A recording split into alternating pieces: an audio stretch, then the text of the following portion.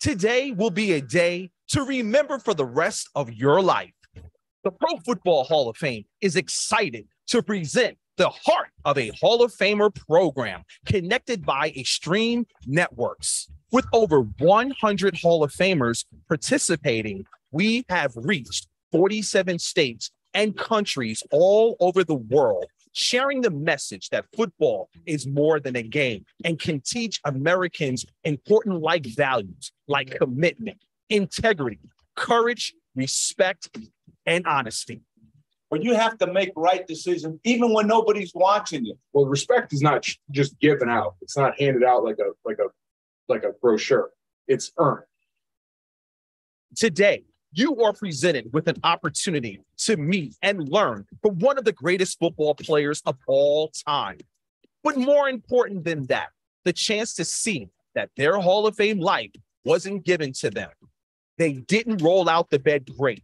They put the work in on the field, in the weight room, in the classroom, in their communities. They made themselves a Hall of Famer on and off the field. Your feet can't take you where your mind's never been. Because you can make it, but it's just going to take a little hard work and some effort and the drive and determination. And today, you will learn you can do the same thing they did. You don't have to have a gold jacket or a bronze bust to make a difference in the lives of others. It's your decision whether you want to be a successful student, son, daughter, brother, or sister. If attitudes are contagious, is your attitude worth catching? It's integrity as well, because when you decide to pursue something and you don't quit, that says a lot about you. Commitment to excellence. We can all aspire to be the best. Welcome to a once in a lifetime program, the heart of a Hall of Famer program connected by Extreme Networks. The head coach told me that I was not going to start. They had decided to go with the younger ball players, the ones I had mentored that whole summer. This knock destroyed me. I fell out of love with football for the first time in my life. This knock sent me and my son Trey back to Whistler, Alabama, where my family my community and my church welcomed me home. Back in August, when the phone call came from Dave Baker, the Senior Hall of Fame committee, and a few Hall of Famers, I began to hope and pray that football might be ready to love me back. So, Mr. Hall of Famer Kenny Houston, Earl Campbell, Elvin Bethea, Curley Culp, Munchak, Jackie Slater, Lem Barney, Warren Moon, Ricky Jackson, my man Lawrence Taylor, and my class of 2018 Pro Football Hall of Fame, when they knocked on my door, all of my dreams came true. And after all these years, I'm at home.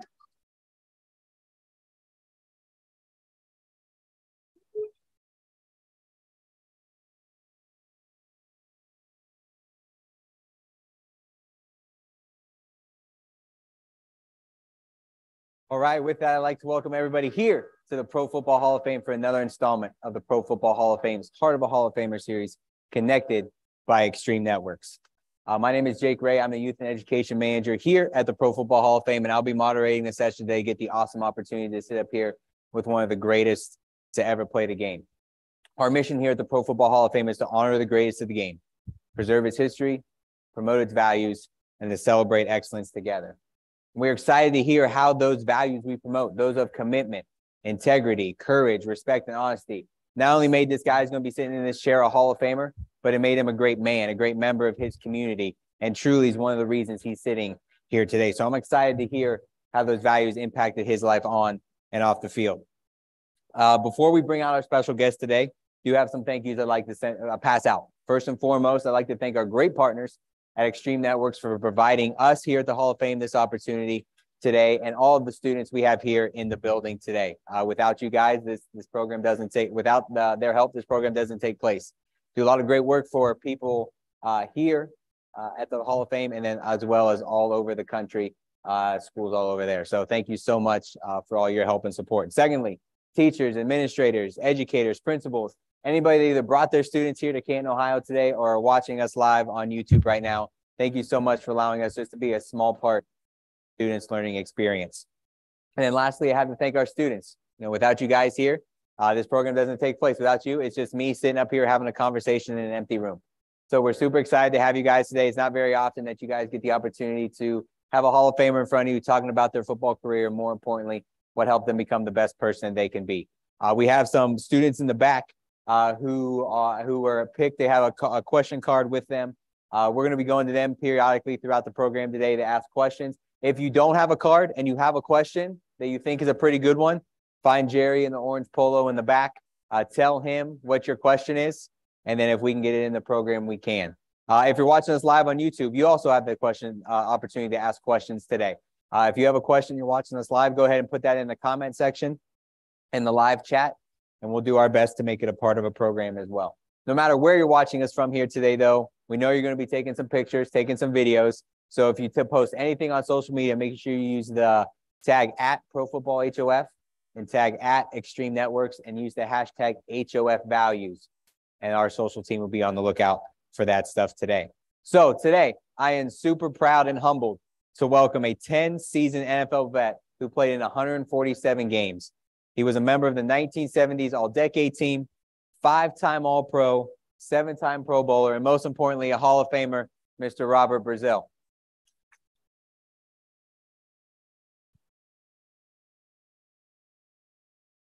How you doing, sir? How you doing today? Good morning. Yes, sir. Thanks, Jake. Jake, thanks for that great introduction. Thank you. Um, So first and foremost, I'd like to welcome you back here to your second home in Canton, Ohio. We always enjoy having you back. Um, always like to start out and, and, talk a little bit about what it means coming back to Canton. You know, obviously you've you've walked through this building as Robert Brazile, NFL legend, and then after your enshrinement, you came back to the building as Robert Brazile Hall of Famer.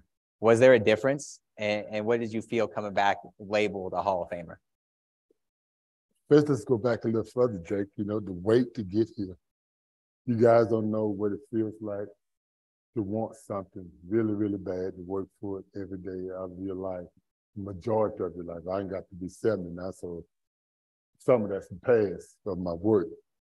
To finally get that that knock that everybody's been waiting for, that telephone call, it's an unusual feeling. I mean, you have to be in these uh, Adidas to feel what I feel, or have to have the heart that has had a quadruple bypass, two hip replacements, to feel what I feel when they say you're a member of the Pro Football Hall of Fame. It's the ultimate feeling. First of all, they give you three things. They give you a ring. They give you a gold jacket. And over in that building is a bus right that he right oh there. Hey, there you are, right there. Sorry. and the most important thing they give you is a number I'm Hall of Famer 312. There will never be another Hall of Famer with the number 312. That they can take. I can die. When I die, I'll still be Hall of Famer 312. And that feeling that you get when they when they label you that or you accomplish that, guys, I want all of y'all to feel that once in your life. It's unbelievable, Jake. Awesome. We are we are super excited. You are Hall of Famer 312, a part of our family here in Canton, Ohio. Um, I mentioned at the beginning those values uh, we believe in here at the Hall of Fame commitment, integrity, courage, respect, and honesty. How have those values played a part in your life, both on and off the field? And is there one that sticks out that was more important in, in your career journey? Well, you know, Jake, uh, the one that sticks out, you know, when I was a, a kid, uh, your age and younger, you know, my parents my uncles, my teachers, my friends always would point out when I was headed in the wrong direction. But at a point in their life, they expected me to do the right thing when one when nobody else was watching. In my household, we call that integrity. It's doing the right thing when no one is watching. It takes courage and respect to do that. But integrity will bring honesty and respect from others. And that's what will make you a better person. Awesome. And you know, so how are you able to take those lessons you learned in your home growing up as a kid and then apply them to your football career? You know, because the you know it, it's so interesting that you can take these values you learn throughout your entire life and then apply them to the game of football. How did how did that help you become an eventual Hall let's of Famer? say not only the game of football, let's say the game of life. I mean, in your classroom, you know, my dad, I'm the oldest of three boys and the smallest. I got a brother, a, a hamburger away from 400 and two of them another, a, a double meat from another 350, but I'm the smallest. My mom expected me to do the right thing and show them the right path, to, to lead an, ex, an example for those guys. And when I got a chance to leave the house and go out on the football field, I took that same leadership role. I wanted to be the best. I didn't want nobody to outdo me. I wanted to outwork. You know, I, I always think about this guy that all y'all know about. Y'all ever heard of Walter Payton? I had the opportunity to sneak with Walter Payton for years, four years at Jackson State. And I thought I worked it hard. Walter would work, outwork me or get up at 10 o'clock at night and sneak out the, out the dorm and work out. But that's the type of attitude me and him had to outwork each other. But it made us what we are today, Hall of Famers. What what was it like? You know, you mentioned Walter Payton. What was it truly like to to see that work ethic and to see his success in college and then his success in the NFL? Now your teammates again with him here uh, in Canton at the Hall of Fame. What was it like to see him that? And then how did you take the experience from your time in college at an HBCU and use that in your NFL career? Well, um, nowadays, you know, you got the thing called internet. and I heard uh, it's pretty big. It's pretty big now. And uh, the cell phone, I probably would have never been discovered if we hadn't had a Walter Payton. Walter brought all the scouts to Jackson State. When they got there, they found out, wow, there's a guy named Jackie Slater could play. There's a guy named Leon Gray could play. There's a guy named, who's that guy right there keep hitting Walter? What's his name? That's Bob Brazile. So that spotlight shined on me. So he was my internet. He the one that bought the scouts there to give me a shot. I owe a lot of my this gold jacket to Walter because if he hadn't been like he was going to Kansas, I probably would never been discovered. You know, so I give all that credit to Walter J. Uh, looking back on your time at HBCU, what was one of the things you took away? Obviously, we're in February, Black History Month. We've seen how much more prevalent, you know, whether it's you know, credit to Deion being at Jackson State, and we've seen HBCUs take off in popularity. You know, there, we do a huge career fair or college fair here during the Black College Football Hall of Fame induction weekend, where we have 30 mm-hmm. some HBCUs here. Why? What did you take away, and why was it so important for you to attend an HBCU? Well, can I tell the story how I got there first? Sure. Go ahead. Okay, when I was in high school my senior year, I was a sought after big blue chipper. I was supposed to go to offers with Auburn, Alabama, LSU, Mississippi State. Anybody in the SEC had offered me a scholarship. But in my senior year, I broke this arm. And on the opening kickoff, Jake, and the scouts literally got up out of the stadium and walked out. All of my all my dreams did like this. Troy State, which was a college in Alabama, offered me a letter of intent. Now, guys, y'all got to understand this is back in the late 60s, early 70s. My mother had never seen a two-piece swimsuit. She's a mother of the church. My dad is a deacon. We drive up on Troy State campus during the springtime, and every young lady out there, guys, was laid like this. My mama looked at my dad and said, You got to turn the car around, Robert. He can't go to school here. so here it is, four weeks out from going to Jackson, I'm going to uh, a, a, university at Troy. My, she said, You got to find another school. So the next weekend, we go to Jackson State. I had a cousin that played there, introduced me to the head coach. Bob Hill came out, never looked at me. I had a friend named Ricky Young that played with the Minnesota Vikings and the San Diego Chargers. Bob Hill looked at Ricky and said, "Hmm, can you block, son? He said, yes, sir. He said, can you catch? He said, yes, sir. He said, I give you a scholarship. I need somebody to block for Walter. The first time in my life I had heard the name Walter Payton. I said, Coach, what about me? And this is the first time that I've ever been told this in football. Somebody told me I had to make their team. Everybody wanted me on their team. And I'm saying, I got to make your team. He said, you can try as a, as a tribe. And Jake, I was a walk on to Jackson, but I walked on to this for him, Jim. It's gold jacket. All right. That's how that's how my career went. I say it worked out pretty well. I I think guess so. I think so. I think so. Uh, want to ask some questions now to our student audience. So whenever you're ready, go ahead and step up to the microphone. Go ahead and state your name, the school you go to, and then go ahead and ask your question. Uh, my name's Dakota. I'm from McKinley, and my question is, how did you take the lessons you learned from playing football and apply them to your own life? Lessons you learned from the game. How'd you? We've talked about how you've taken the lessons you from your life and apply them to the game. Vice versa. How did you take the lessons you learned from playing football to become a, the best member of your community family that you could be? Good question. Great question. How many of you got up with a good attitude and with a bad attitude this morning? Good character and bad character this morning. I got up every day with good character trying to outwork everybody. My attitude was outworking and trying to be the best. It's what you get up with, what you work with, what you carry around with you every day is what's going to make you a better person at the end of that day. Okay? If you get up talking about I'm gonna do the, I ain't gonna do nothing today. What you accomplish, nothing. But if you get up with the attitude that you want to do something and be somebody, you can take it wherever you want to go with it.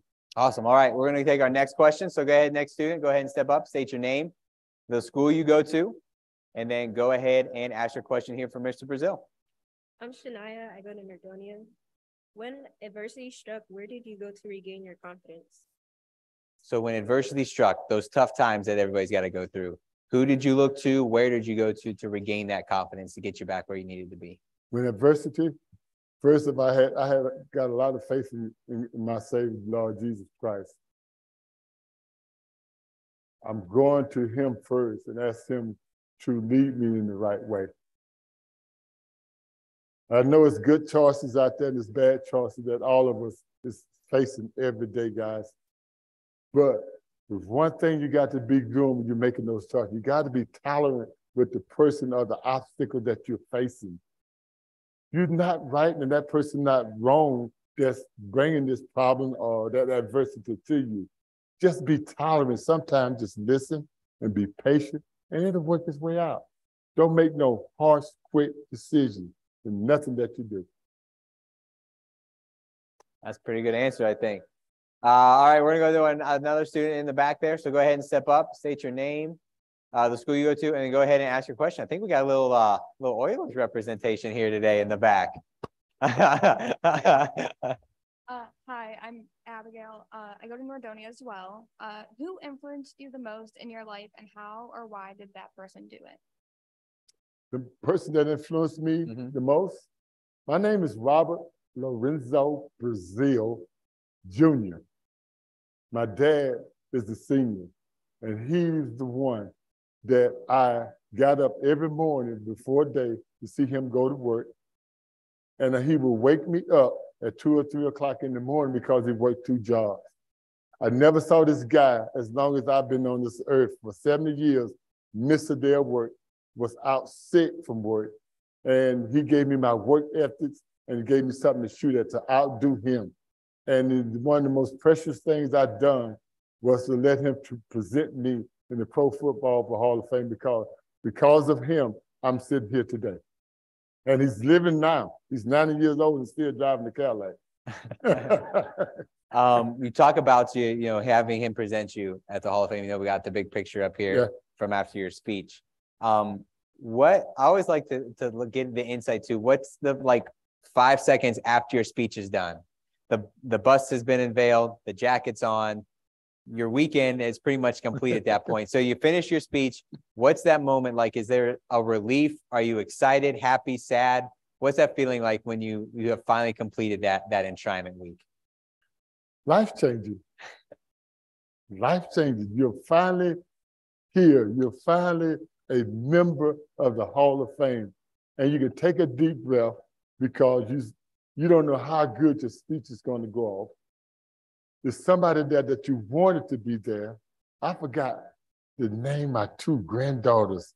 And I was like, oh my God, they're going to kill me. but it's, it's such a relief, but it's also such an honor to be here with the best, the, the best of the game. I mean, the greatness and the people that's, I made a promise if I got here, and I'm telling you now, I will not miss an enshrinement that I'm here to come because it was so important to see all of these Hall of Famers saying, welcome. You finally, you heard me speak say, I'm at home. I am. I'm at home.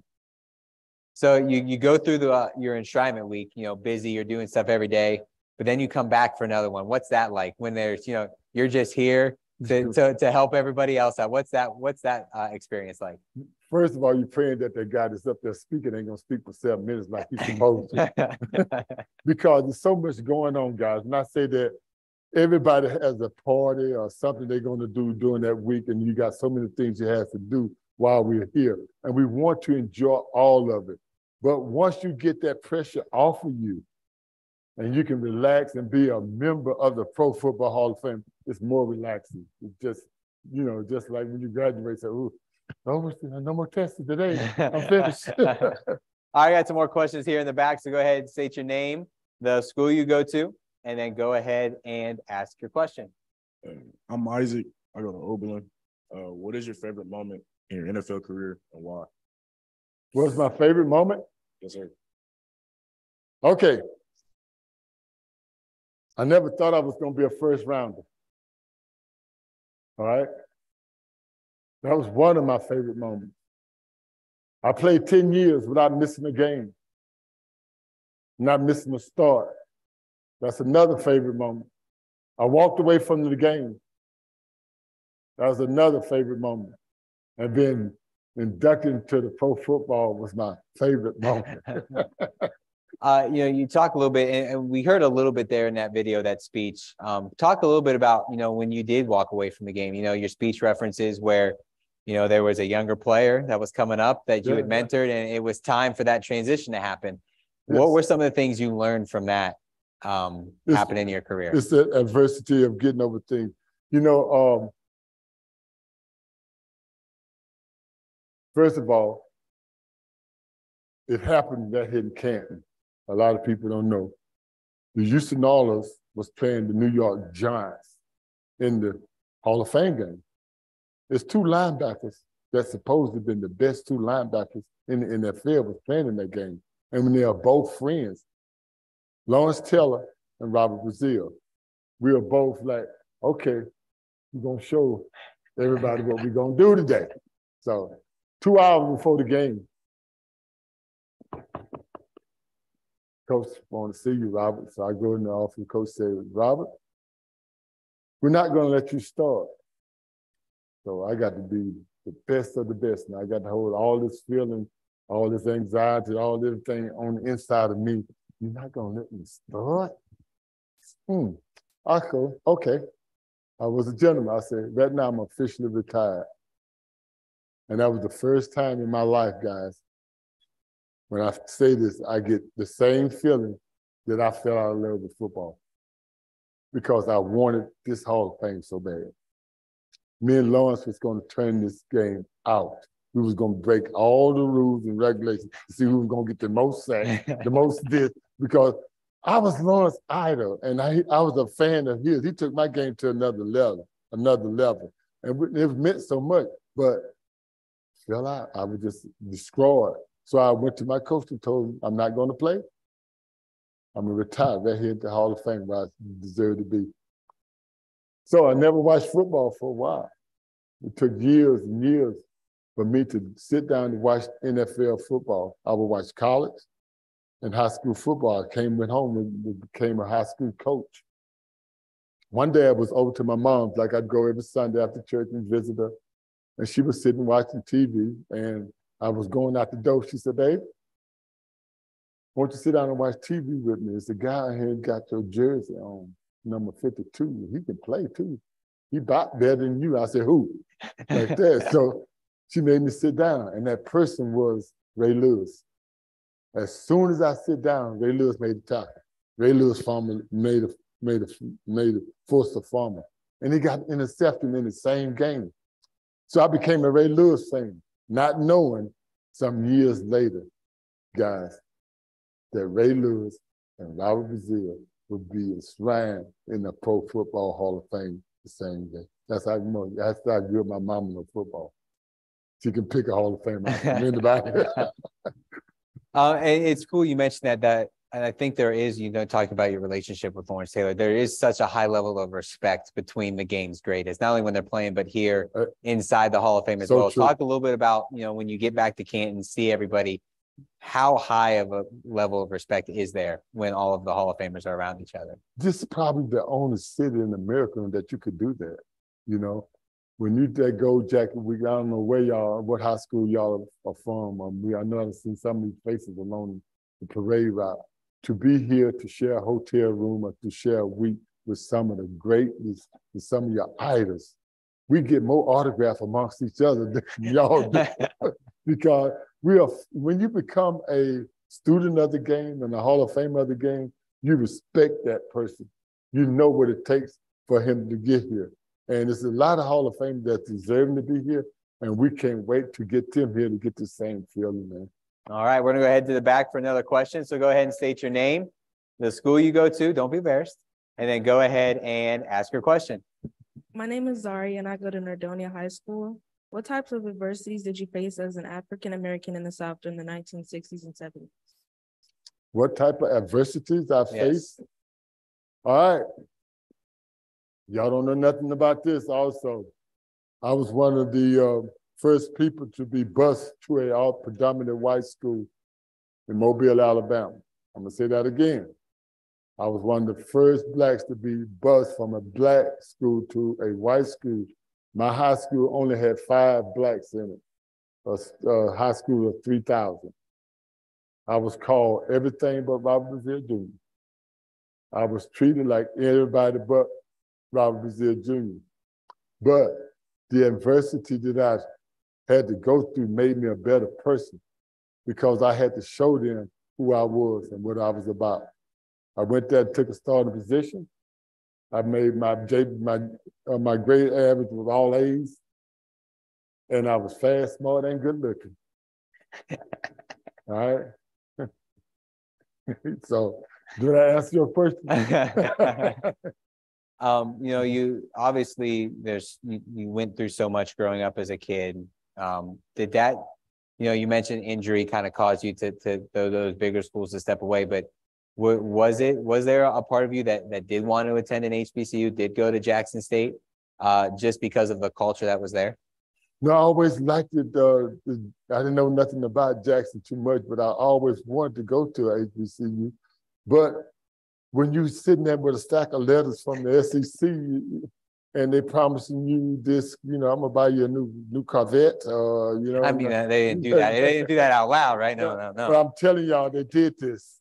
You know, you know, uh, my dad working at the shipyard, he finally, you know, he goes from- here to this paying job and said, but we need your son to go to this school. And I said, no, dad, I'm, you know, do what I have to do, but just do it right. But it was a challenge for me. But I think for me to go through a HBCU, if I had to do it all over, I'd do it again. I'd do it all. I had three sons, two went to HBC. One was, I have four white kids, guys, so I'm gonna get upset when I have to say this. And I got four, uh, three, three black kids. I had some kids, my wife had some kids. We put the Brady Bunch together. And they all have a master's or a doctor at my house. So that's what I'm supposed to in my Very house. cool.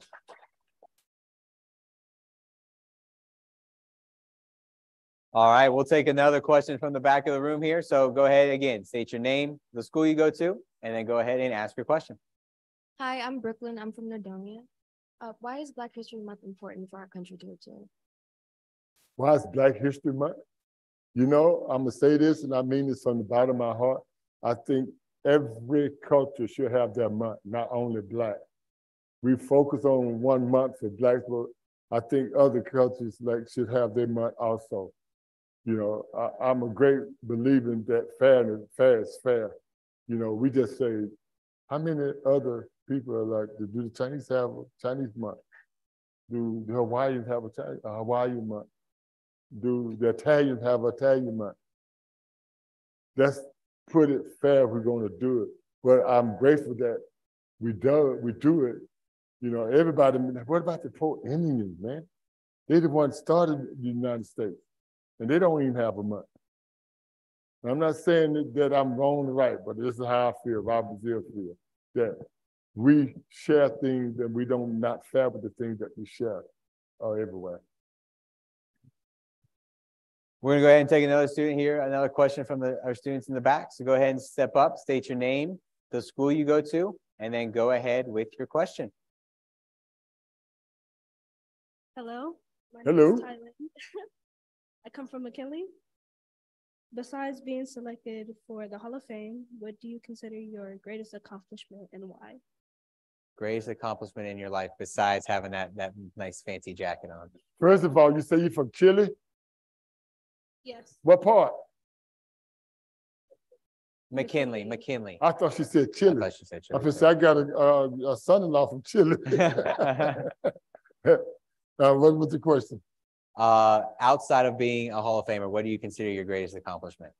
A father. You know, I worked in the school system for 25 years. And when I uh, was asked after my, my retirement from pro football, I had did everything in America that a young man could do. But the most important thing that I hadn't done was to be, be an all pro, an all world daddy. I went home in the system to be a daddy, not only to my own kids, but other kids in Mobile that needed that person they could count on and talk to. That 25 years I worked in special ed and gifted kids area because I want them to be able to have a fair shot in life like I had. All right, we're gonna go to another question. Speaking of that, we're gonna have our student go ahead and step up to the microphone here. Uh, state their name, the school they could go to, and then go ahead and ask their question. And I think this might go along with what we were just talking about right there. My name is Logan, and I go to Richmond Heights Schools. For a period in your retirement, you were a middle school teacher for students with special needs. What did that experience teach you? Wow, no sleep. no, uh, at the time I had met my wife, which is name, her name is Brenda. And these kids I would take home every day. It was just me and my son. My first wife was killed in a car accident out in Houston that same year that I retired from the Oilers. Uh, these kids meant so much to me. Uh, to be able to answer their questions, to be able to be their mouth, to be their, their, their, their safe haven. I had a Victoria home in Mobile, Alabama, and I think at one time we had 30 kids spending the night with us. It was just me and my son. And it, it was so rewarding, man. It was just like, I didn't, I didn't want them to pay me to, to teach at that school. I just wanted to work there. We've talked a little bit here today about your career, obviously, and you played your entire career with the Houston Oilers. Obviously, we know the Houston Oilers are not around here today, but they've become the, the Tennessee Titans. And we've talked about this before, but how cool is it for the Titans organization now to embrace people, our, former stars, Hall of Famers like you, who played for the Oilers, but didn't play for the actual Titans organization? How cool is it to go back to Nashville and be celebrated by the Titans organization? You know, uh, during that time, I never, that time with that, I wasn't watching football and during that time, I never had a homecoming. The Houston Oilers didn't exist no more. They had moved out of Houston over to Tennessee. So all the people around the NFL would have homecoming weekend and this and there. All the teammates would get together.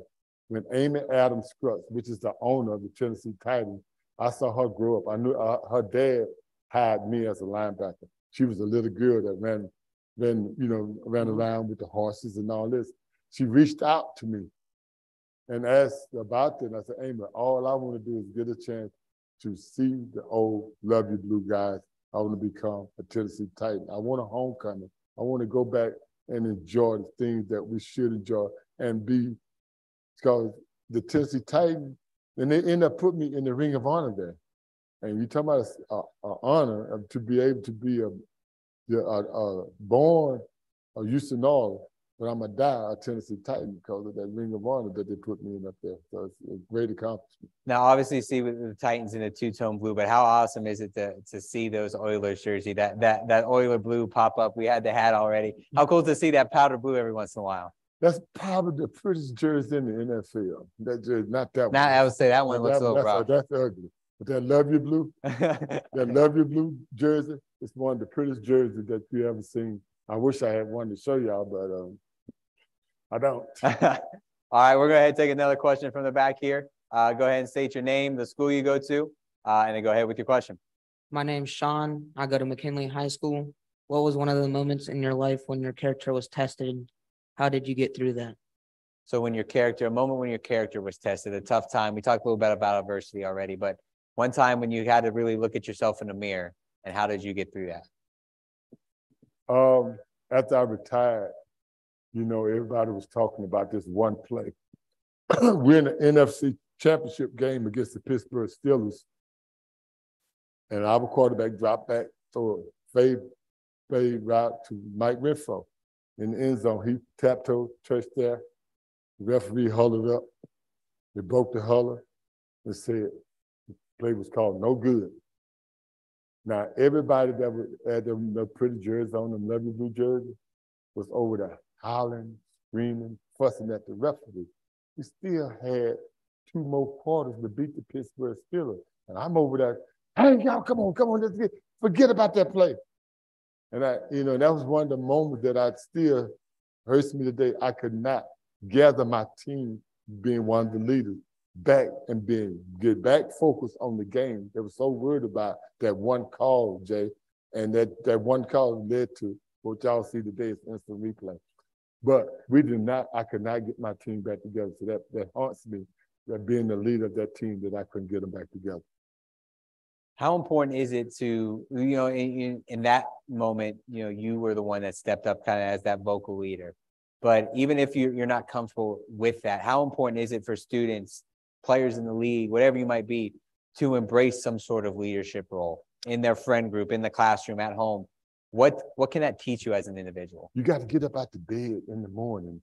You know, how many made their bed up this morning?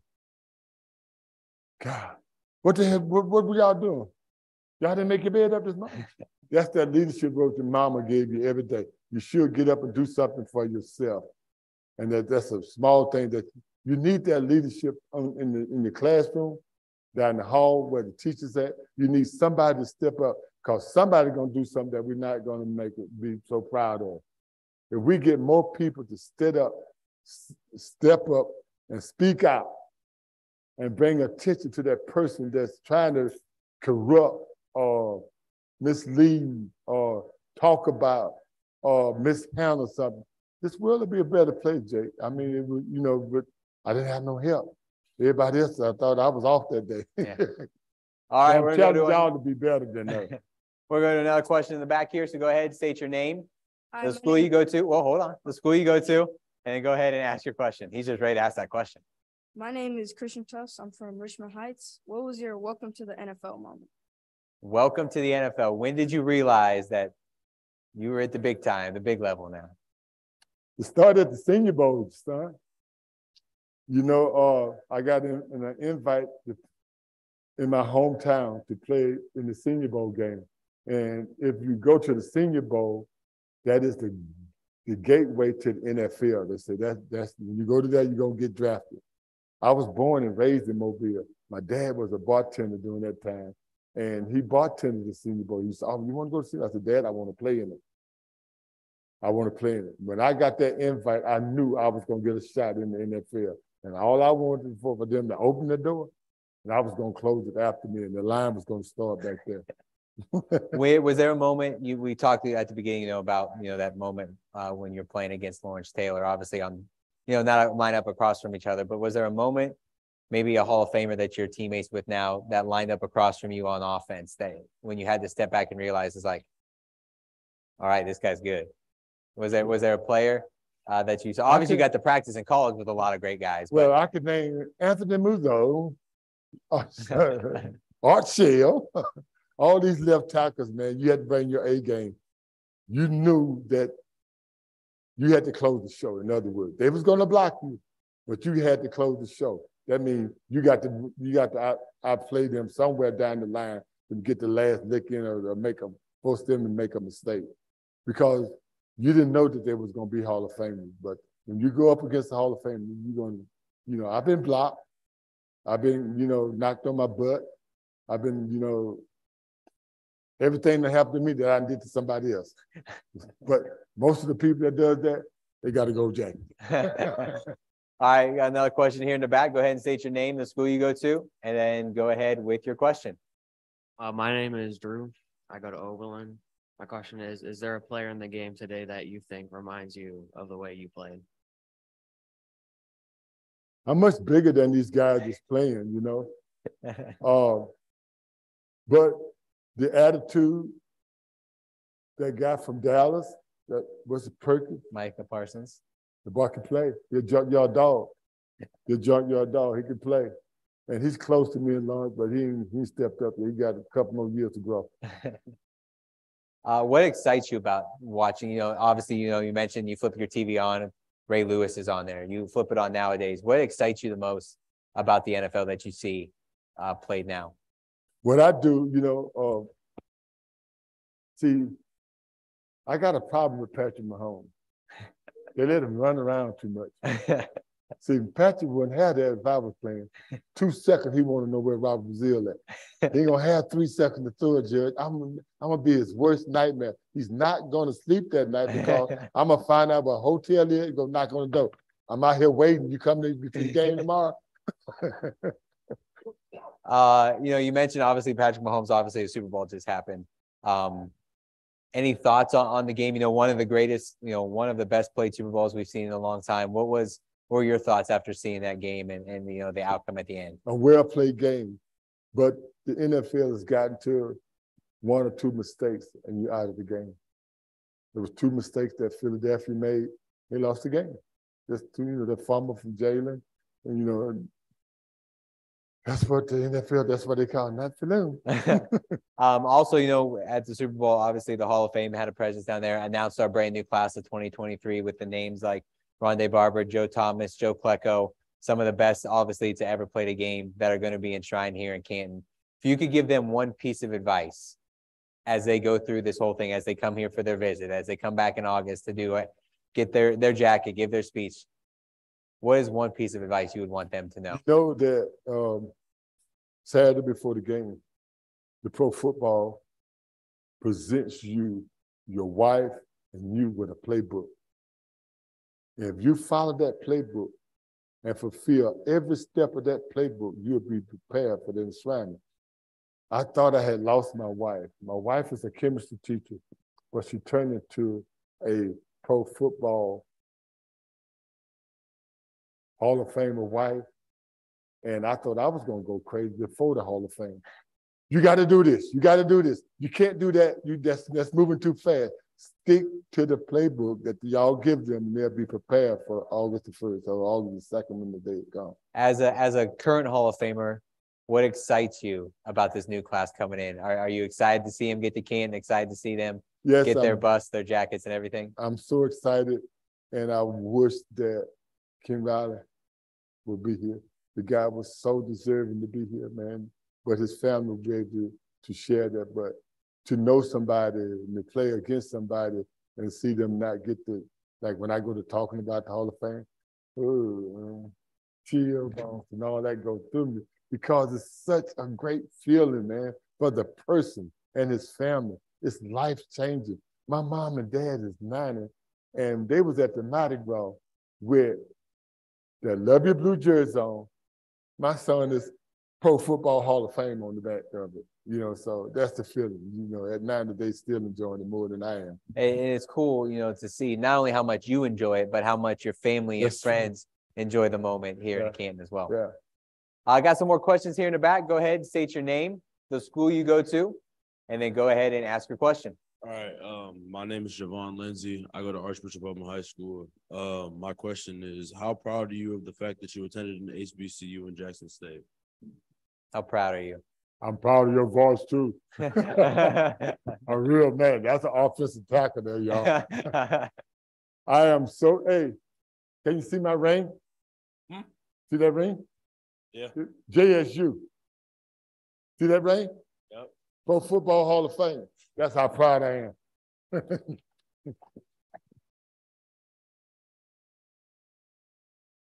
We talked about it a little bit, but I want to focus on obviously at Jackson State, Deion was there.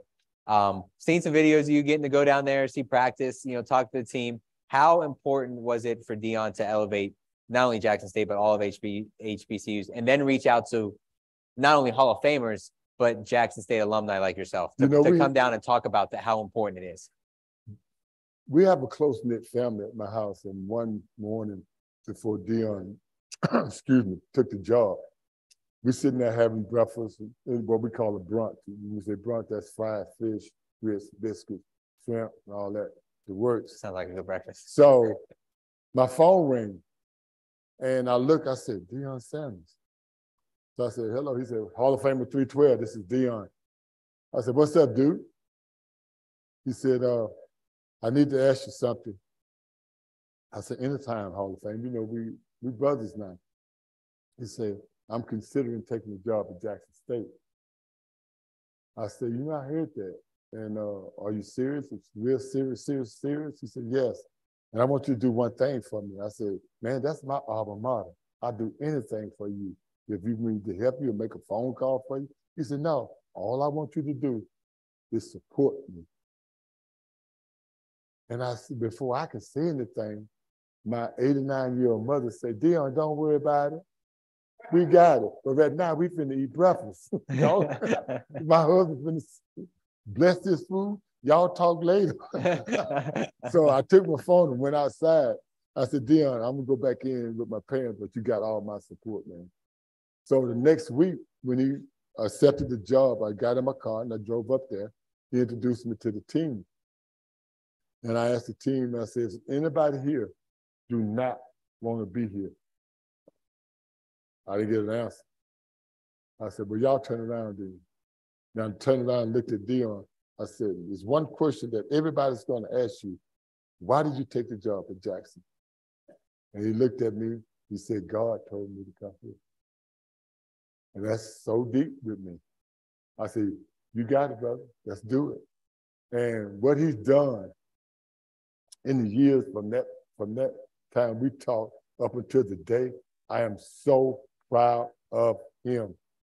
Back-to-back championship, all new facilities, exposure not only for Jackson State, for every HBCU, but he's also a dad.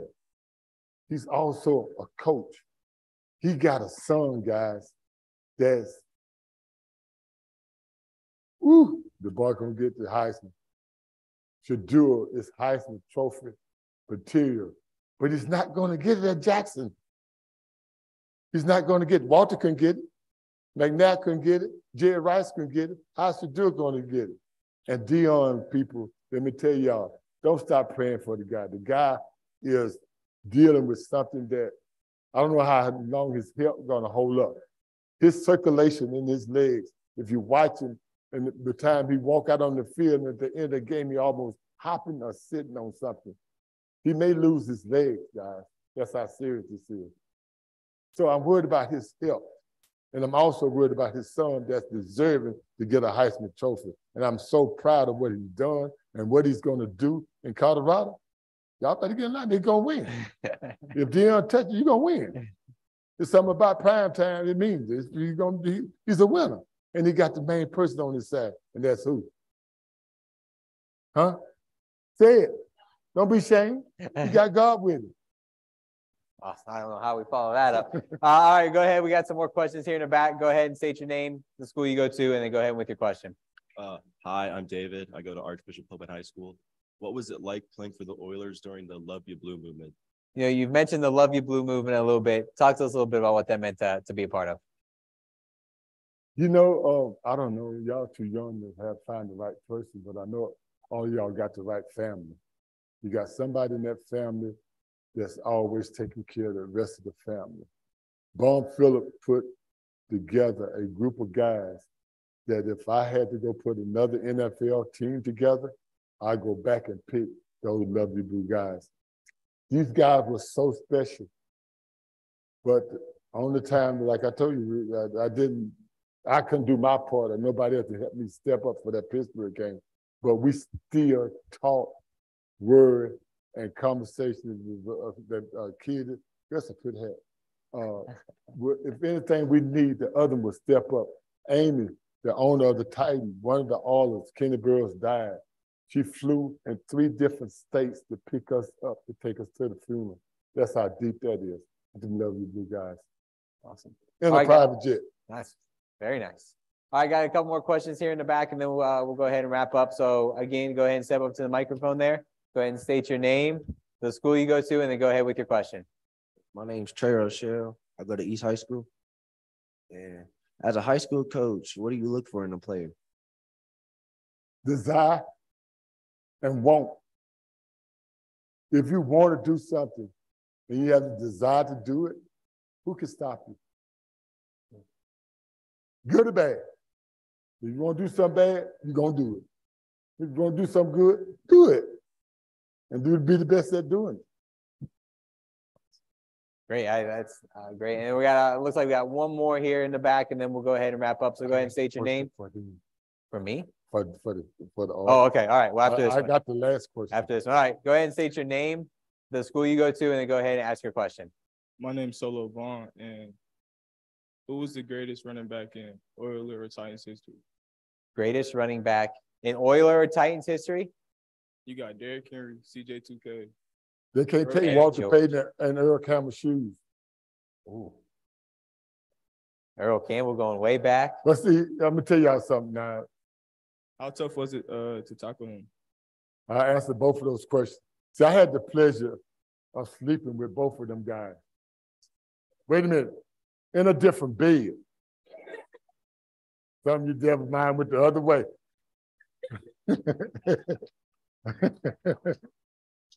Earl Campbell, I slept on the road with the Houston Oilers. Walter Payton, I was his roommate at, at Jackson. And they was probably the two hardest running backs that I played against. Now, I got a chance to meet Derrick Henry. Derrick Henry's bigger than me. That's a big old target. I'm gonna take that target out. That's a whole buffet. I'm hungry when I get on the football field.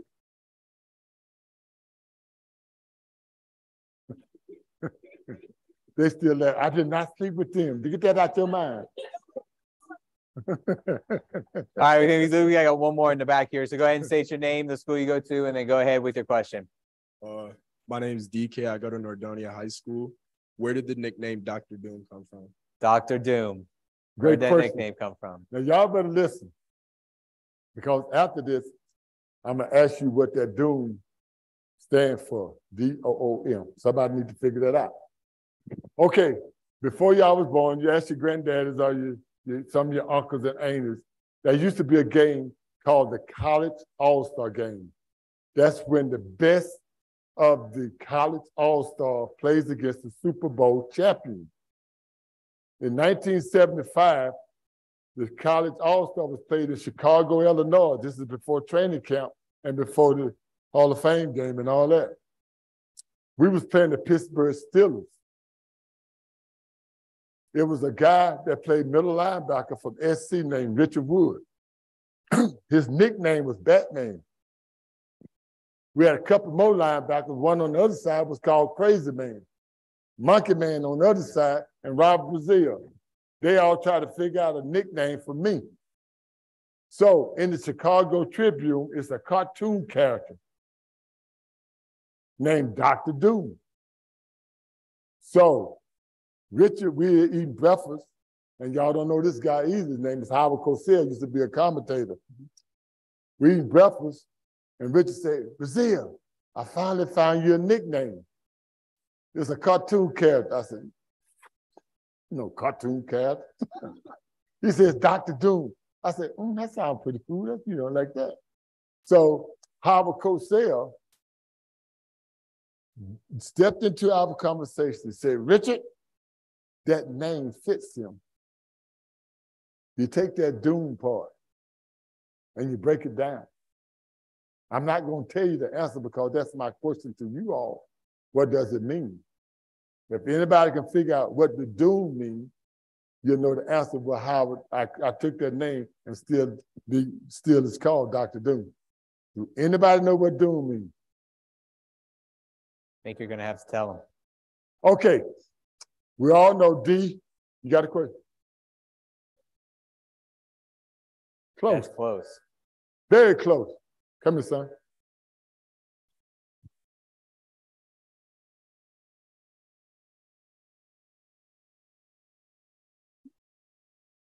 I signed that and I'll send you my bill 1850. you know, it's very close.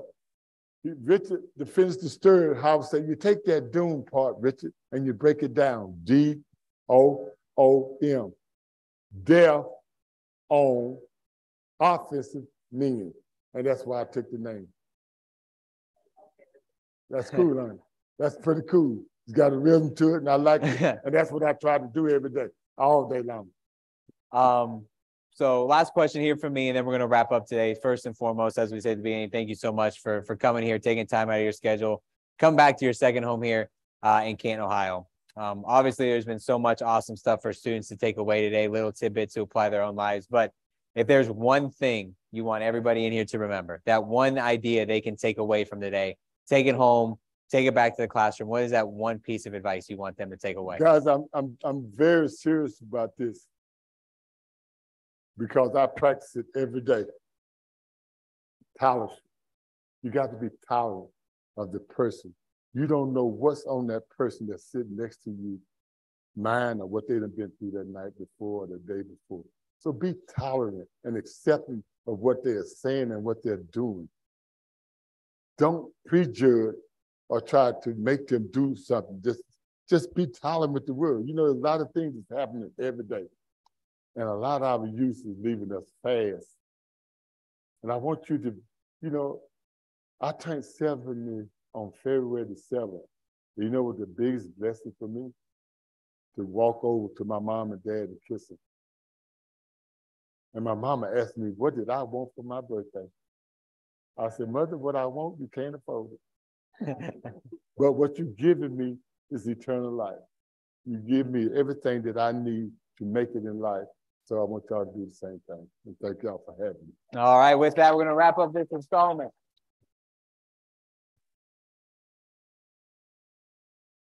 Again, uh, Robert, thank you so much for everything you've done for the game of football. Truly wouldn't be the way it is today without your impact. Thank you for everything you've done for us here at the Pro Football Hall of Fame, and thank you for being a part of the program today. Thank you. Jay, I want to say thank you to all, all of y'all. If y'all need, y'all can Facebook me at Robert Brazile. It's three of us. I'm the what? Junior, not the third, not the senior, because my dad still think he cool to be on Facebook at 90. Thank you, everybody, so much.